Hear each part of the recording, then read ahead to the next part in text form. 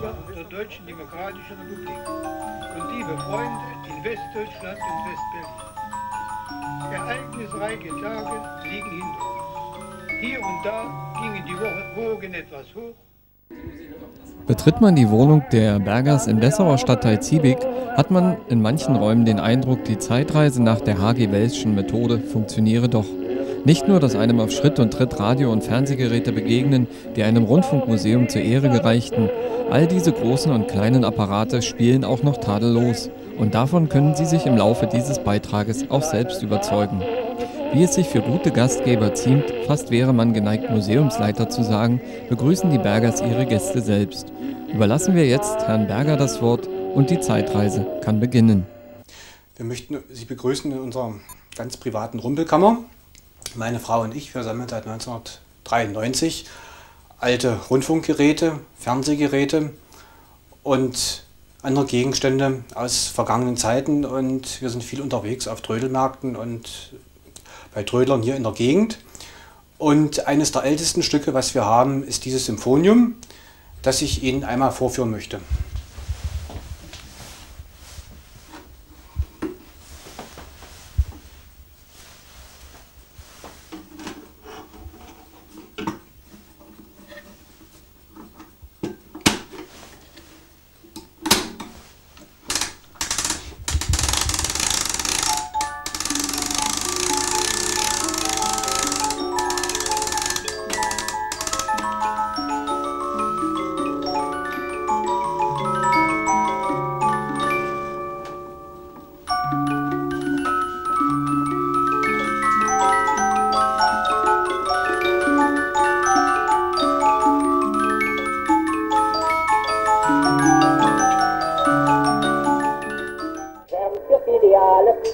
Logan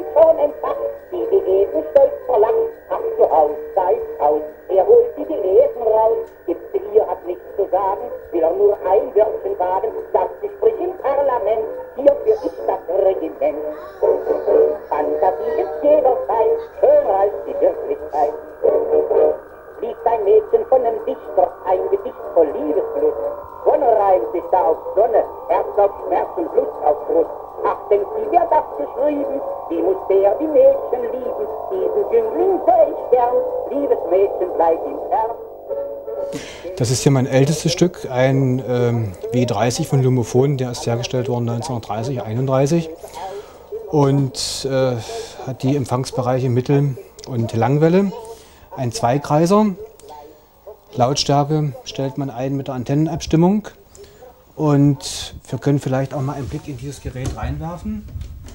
Auch für den Laien vielleicht interessant, auch wenn er dafür nicht so viel Ahnung hat hier mal einen Blick reinzuwerfen, wie dieses Gerät funktioniert. Das ist der Netztravo, Gleichrichterröhre, Audionröhre für die Hochfrequenz, die Spulen für Mittel- und Langwelle und das ist die Endröhre. Und hier angeschlossen ist ein Trichterlautsprecher aus den frühen 20er Jahren. Das ist wohl das bekannteste deutsche Radio, der Volksempfänger 301. Die 301 steht für 30.01.1933, den Tag der Machtergreifung. Und dieses Gerät wurde ab 1933 gebaut von fast allen deutschen Radiofirmen in sehr großer Stückzahl. Wurde zum ersten Mal auf der Funkausstellung 1933 vorgestellt und kam dann für 75 Mark in den Handel und wurde dann mehrfach auch preisgesenkt. Das ist etwa in der Form, wie er ab 1933 bis 1938 gebaut wurde. Hier in der Mitte, das ist der Knopf der Sendereinstellung. Links ist die Umschaltung von Mittel auf Langwelle und rechts ist die Rückkopplung. Damit kann man dann einstellen die Lautstärke und die Empfindlichkeit des Gerätes. Und auch heute können wir damit noch, äh, gerade bei Dunkelheit und im Winter, in den Abendstunden doch recht viele europäische Sender hören und in der Info. Und wir werden mal sehen, was da noch zu hören ist. München. Emil Basajew, jeho brat Schirman.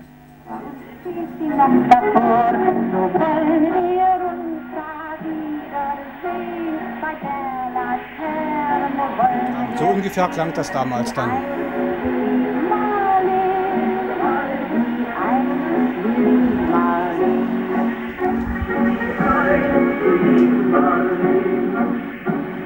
Unsere beiden Schatten sahen die eine aus, dass wir so lieb und passten, das sah man gleich daraus. Und alle Leute waren es sehen, wenn wir bei der Laterne stehen, wie ein Limali, wie ein Limali. Das ist ein ganz besonderes Gerät, auch vom Sachsenwerk in Radeberg aus dem Jahr 1936. Das hat nicht, wie wir es kennen, eine normale Skala mit einem Zeiger. Das hat die sogenannte Kinoskale. Ist auch ein kleines, technisches, ein kleines technisches Kuriosum. Wenn wir jetzt einen Sender hören wollen, dann gucken wir hier, zum Beispiel Bern hören wollen oder Basel, dann gucken wir hier auf dieser Skala Bern 91, gucken hier in dieses Sichtfenster und drehen dann diesen Sender ein.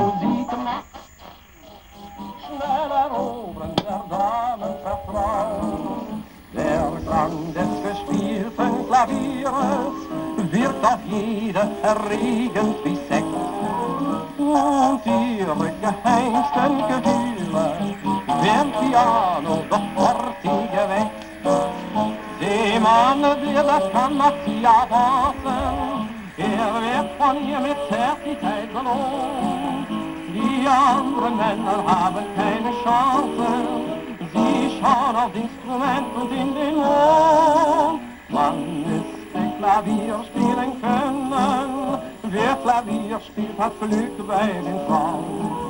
Denn nur er kann mit Tönen den lauschenden Schönen ein Luxus Liebe. Das hier ist ein Körting-Kofferradio aus den späten 30er Jahren. Äh, daher vielleicht auch der Begriff Kofferradio. Die Hälfte des Gerätes war Radio und die andere Hälfte war Platz für die Batterien. Man musste das Gerät hier aufklappen und dann kommen hier der Lautsprecher und die Bedienteile zum Vorschein. Das Gerät hat zwei Rahmenantennen für Mittel- und Langwelle, hat einen externen Antennenanschluss und einen separaten Eingang für einen elektrischen Plattenspieler. Und als Gegenstück haben wir hierzu ein Gerät, was 1976 war es, zur Funkausstellung als das kleinste Radio der Welt gehandelt wurde. Hier ist Herr Berger der Zeit ein wenig vorausgeeilt. Der kleine Kosmos-Empfänger war natürlich erst sehr viel später dran. Wir verbleiben aber noch einen Moment in den 30er Jahren des 20. Jahrhunderts. Das ist ein Telefunken-Spitzensuper aus dem Jahre 1938 und er kostete seinerzeit 500 Reichsmark, also ganzes Gegenstück zu den 75 Reichsmark des Volksempfängers und er war natürlich auch vier Klassen besser. Und wie der klingt, das können wir uns mal anhören. Das Besondere ist hier die Leuchtbandskale. Das ist die, die Skala für Mittelwelle. Und wenn ich jetzt hier umschalte, dann haben wir hier die Langwelle. Dann können wir noch auf Kurzwelle schalten. Aber wir bleiben mal bei der Mittelwelle. Und dieses Gerät hat hier zur Trennschärfe-Einstellung eine wunderbare Bandbreitenregelung. Und wir wollen mal sehen, was damit heute noch zu hören ist. Washington, Glass America.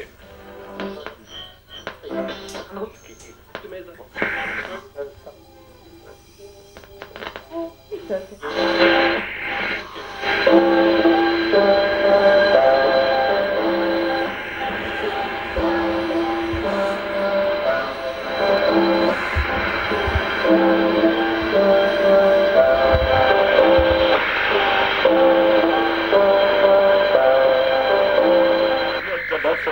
allen Sendern. Angeschlossen alle österreichischen, italienischen, ungarischen und norwegischen Sender, der Schweizer Drahtfunk, die Sender Brasiliens und Uruguays und der deutsche Kurzwellensender mit den Lichtstrahlern nach Nord-, Mittel- und Südamerika, nach Asien, Afrika und Australien.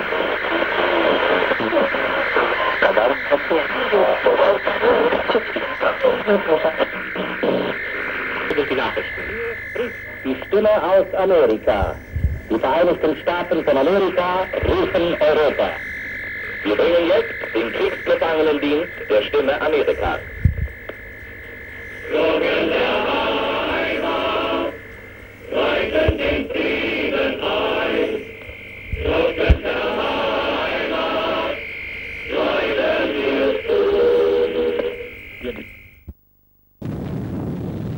Dann brachten die Deutschen zum zweiten Mal den Krieg in die Welt, der schließlich wieder nach Deutschland zurückkehrte. Radios dienten kaum noch der Unterhaltung, Meldungen interessierten, ob der nächste Angriff auch die Heimatstadt betraf. 1945, der Krieg war zu Ende, eine neue Ära begann. Auch für ein relativ neues Medium, das aus den Testkinderschuhen der 30er Jahre entwachsen, zunächst Eingang in die Kulturhäuser und später in die Wohnstuben fand. Dieses Fernsehgerät hier, das ist jetzt mein bestes Stück in meiner Sammlung. Nach meiner Frau möchte ich ihr nochmal betonen und mich auch gleich für ihr Verständnis für meine Sammelleidenschaft bedanken. Dieses Fernsehgerät, das ist der Leningrad T2. Der ist gebaut worden von, also zwischen 1951 und 1954 als Reparationsleistung für die Sowjetunion. Das T steht für Televisor und war ein sehr aufwendiges Gerät mit Radioteil. Das können wir uns mal angucken. Das ist der Kanalwähler, dem schaltet man die Sender ein. Und jetzt hätten wir hier einen Plattenspieleranschluss. Dann haben wir jetzt das Radio, einer ungeeichten Skala. Und es ist fest eingebaut ein, oh, halt hier ist er, ein UKW-Kanal, der im ORT-Bereich lag und man damals einen UKW-Sender mit äh, hören konnte. Das Interessante ist dann nun der Fernseher an diesem Gerät. Der ist in der äußeren Form so in etwa nachempfunden dem Fernsehvolksempfänger, der in den 30er Jahren gebaut wurde. Und von diesen Geräten sind nun nicht mehr allzu viele funktionstüchtige, funktionstüchtige Geräte erhalten. Und die meisten gingen ja, wie schon gesagt wurde, in die Sowjetunion. Und einige wenige blieben auch in der DDR. Sie gingen an Kulturhäuser, gesellschaftliche Einrichtungen. Und wie so etwas damals aussah, das können wir uns jetzt einmal anschauen. Technik, Wissenschaft und Kultur kommen unseren Genossenschaftsbauern zugute. Zum ersten Male wurde einer Produktionsgenossenschaft ein Fernsehgerät übergeben.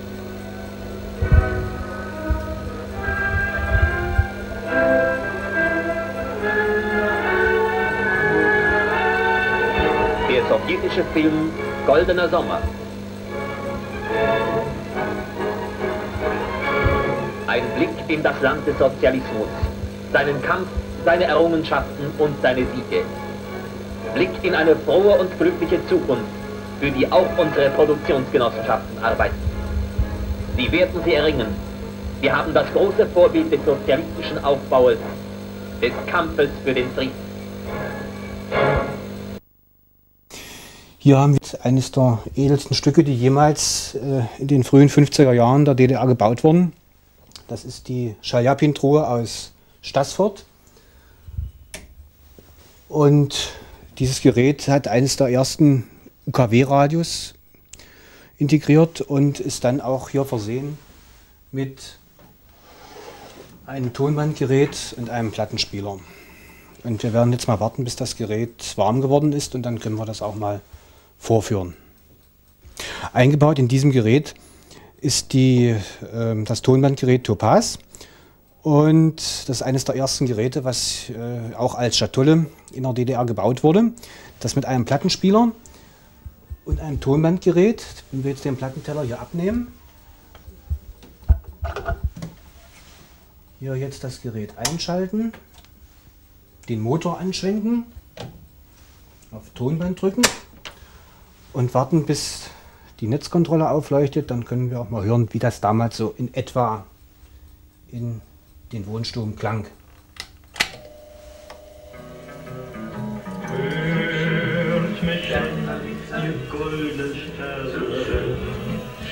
ihr Zeit. Grüßt die Liebe in der Ferne, schön war die Zeit. Mit Freud und Leid verrinnt die Zeit. Alles liegt so weit, so weit. Schön war die Zeit. Dort, wo die Blumen blühen, dort, wo die Täler grün, dort war ich einmal zu Hause.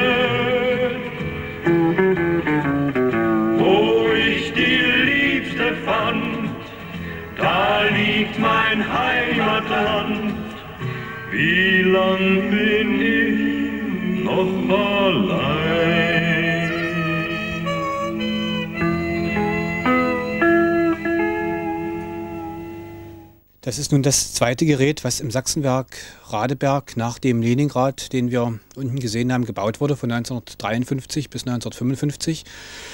Das ist der Rembrandt und das war das erste Gerät, was für den sogenannten Bevölkerungsbedarf in der DDR in den Handel kam. Das Gerät kostete seinerzeit 1500 Mark und es war schon auch ein, für damalige Verhältnisse ein recht stolzer Preis. Es war empfangbar war das Band 1 zu der Zeit und es hatte zwei eingebaute Kanäle, also zwei Kanäle für UKW-Sender. Man konnte zwei UKW-Sender damit hören.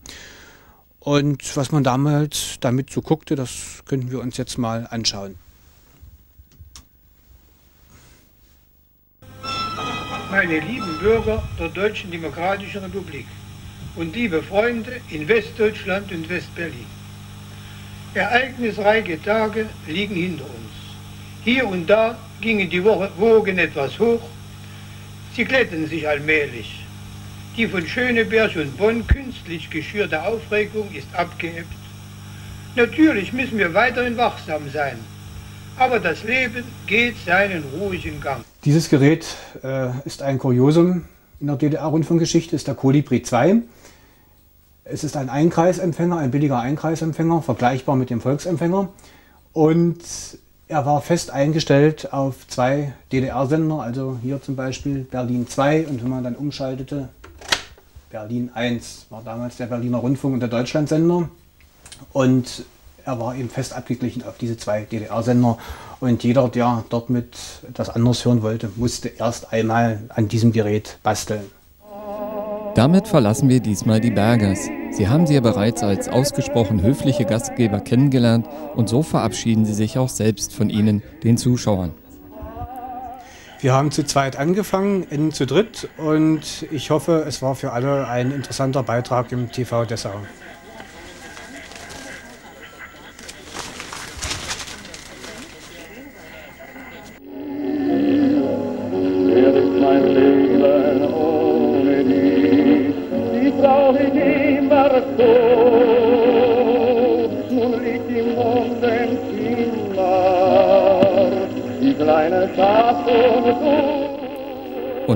Abschluss hat Herr Berger noch etwas aus Urgroßvaters Zeit hervorgeholt. Doch hören Sie selbst, sehen Sie selbst, urteilen Sie selbst.